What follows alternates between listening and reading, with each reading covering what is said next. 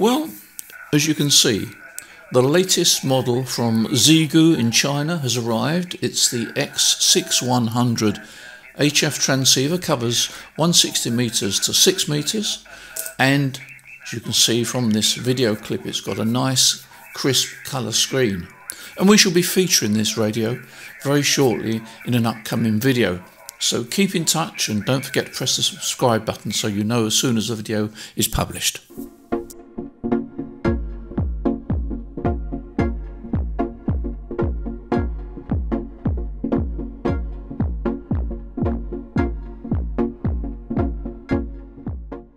Subject of this video is coax cable. Not the most riveting subject for a video, I grant you, but really and truly coax cable is very important. We all use coax cable in our ham radio station in one shape or form. And it's actually been prompted by a couple of uh, messages I had. And one message said, I've been advised to buy the most expensive cable I can afford because it'll be a great investment.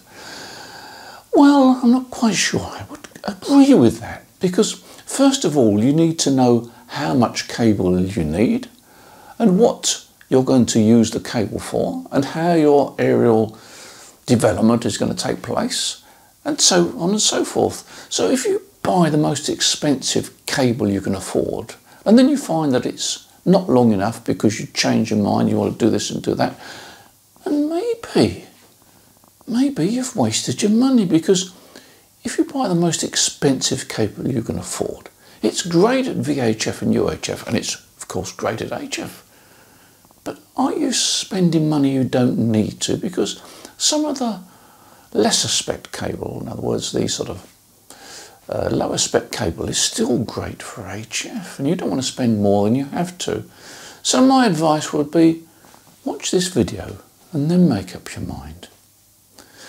Now I did um, a little clip about uh, three weeks ago going back 50 years and it proved quite popular.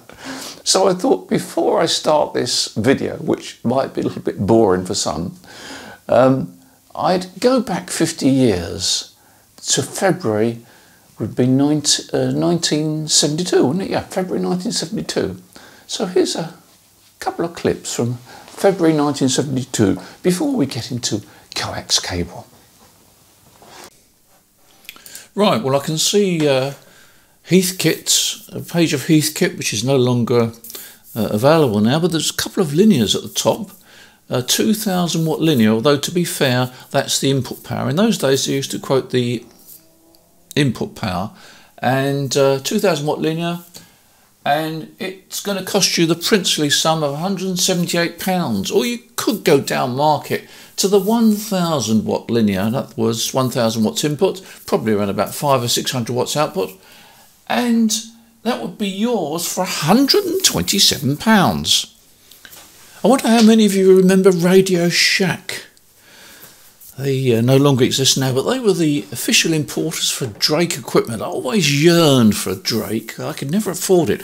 I mean, the Drake TR4C, £265. That, I think, was quite expensive. Certainly beyond my means, but I've I've always wanted to own Drake, but I've never actually got a Drake TR4C or any other Drake transceiver. But there we are, £265 and it's yours.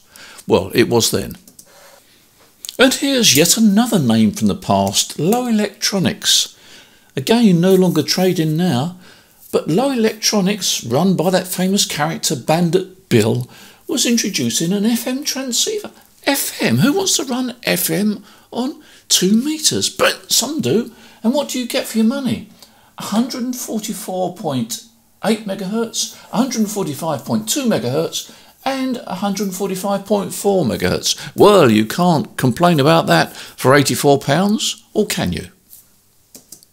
You know, in those days, the radio spectrum was controlled by the post office, not your little corner shop down the road, but the big post office, now known as Ofcom they were making a nice little profit. A little sideline they had running in those days. Look at this Pirates fined.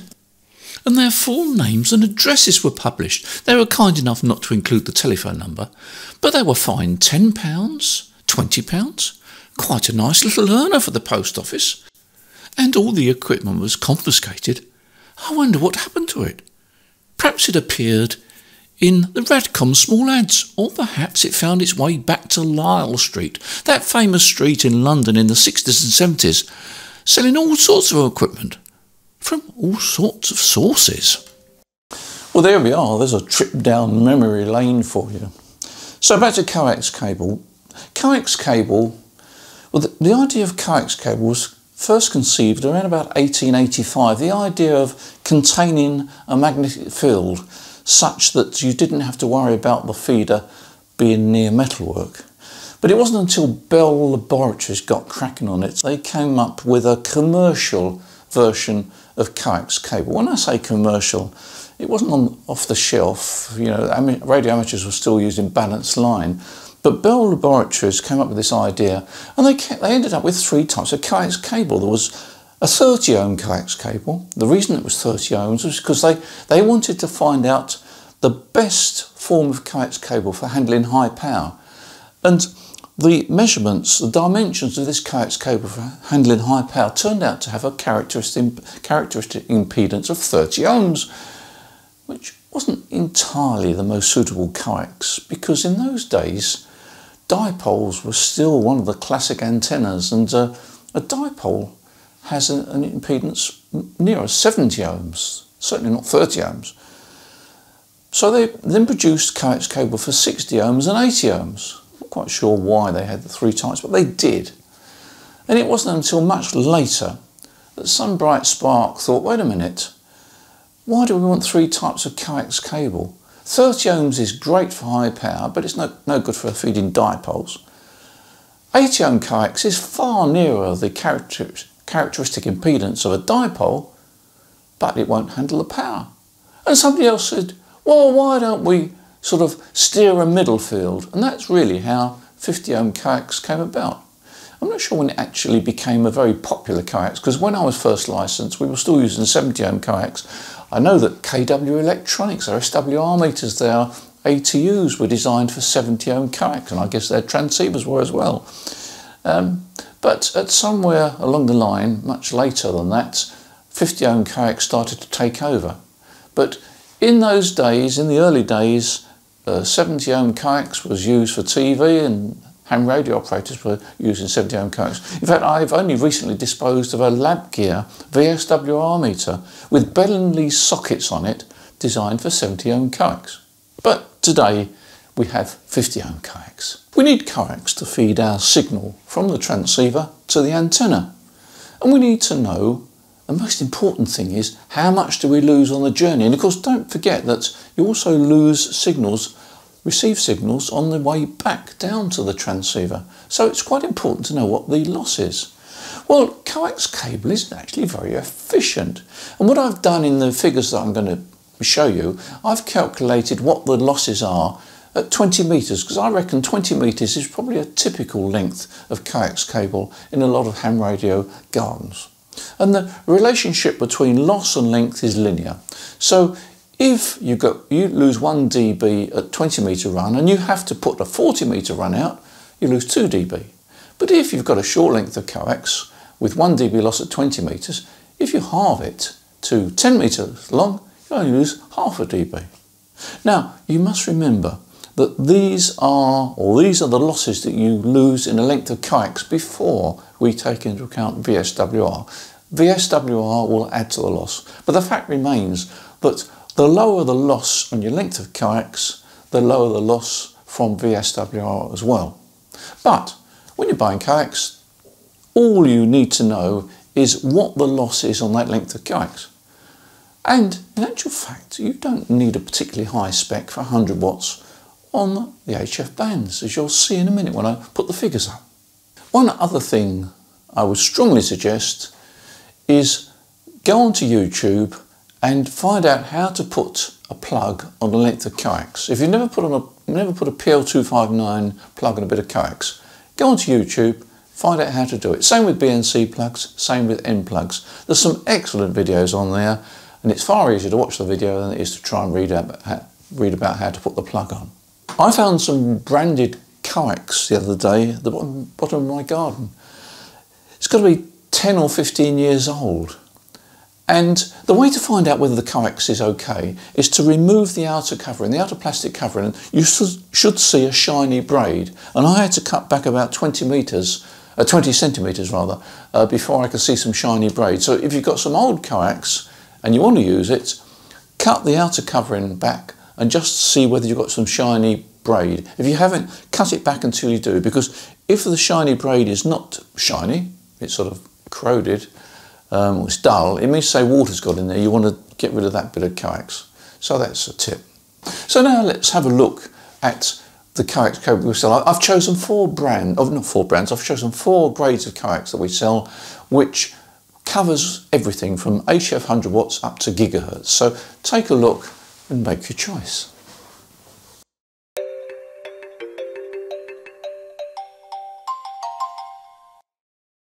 The first cable we're going to look at is AirCell 5, which is very much a bread and butter cable for the HF operator. Even at 20 metres, the loss is just under 1 dB. And it's great for use inside the shack where you're connecting various items together because very often you've got some tight corners to get your cable around and it's, it's ideal for that. So very much a general purpose cable and ideal for the newcomer who's not quite sure what sort of aerial he's going to end up with and how much cable he will ultimately want.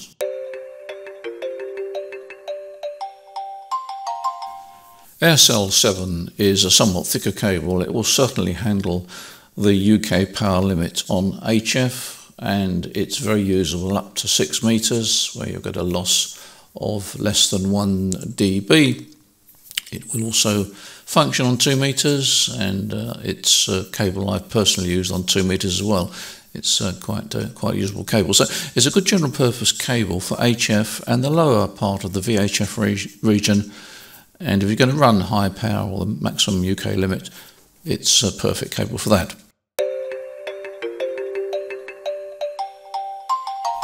Now we come to our most popular cable for the VHF and UHF enthusiast. Ecoflex is a German manufactured cable, manufactured at an extremely high standard and very popular for VHF and UHF operators.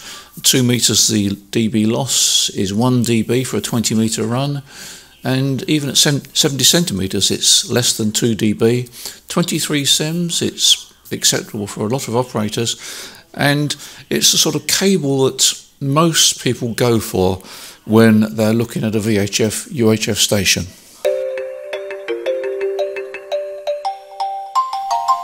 Finally, we take a look at Ecoflex 15, which is our highest quality cable. And it's designed for the gigahertz operator or for those that have a particularly long run on 2 meters and 70 sems because on 2 meters, even a 40 meter run will only have just over 1 dB loss. So it's a very good cable. But for the serious operator, if you're going to go into the gigahertz region, this is the cable that you really need to look at. Now, if you have a long cable run or you're thinking of installing a number of antennas, it makes sense to consider purchasing a reel of cable. And the prices for reels of cable are on our website as well as the meter prices. And while talking about uh, our website, I should mention that we also carry all the necessary connectors for these cables that we've just discussed. So check those on our website as well.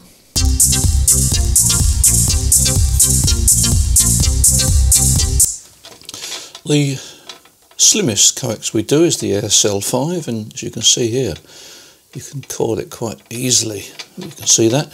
You can actually make um, a line isolator with that coiling up into quite a, a tight coil like that. So very um, very pliable.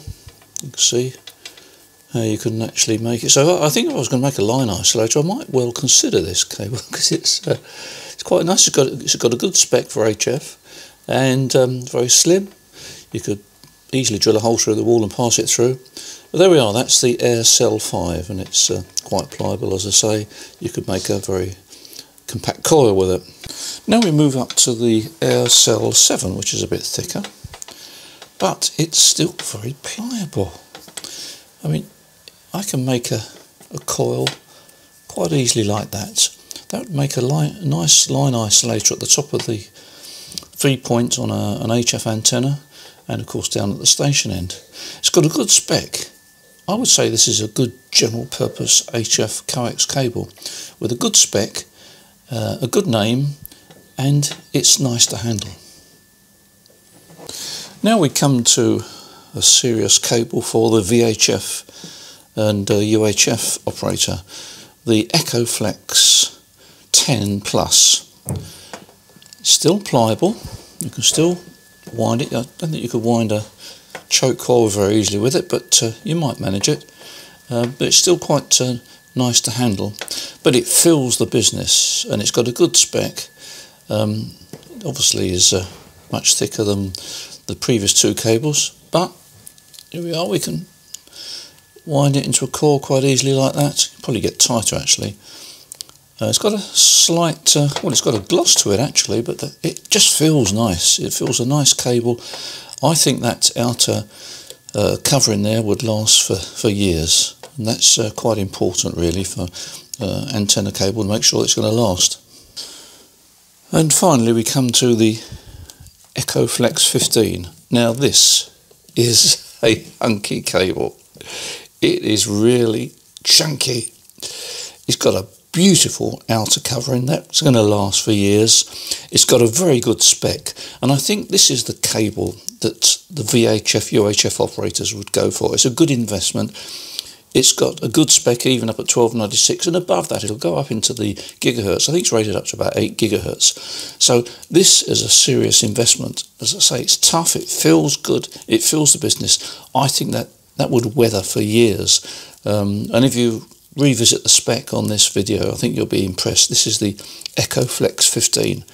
It's the business. Four coax cables that you can look at that cover the complete spectrum and that we'd be happy to supply and guaranteed that the specification is the same as uh, what you've just read on the screen.